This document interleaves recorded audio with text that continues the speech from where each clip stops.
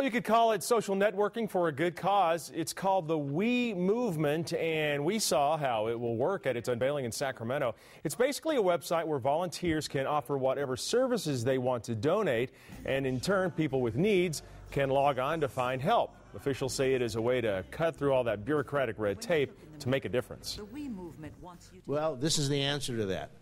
You can go right online, make an appointment with a doctor, and th- it becomes the relationship between the individual and the provider. That's it.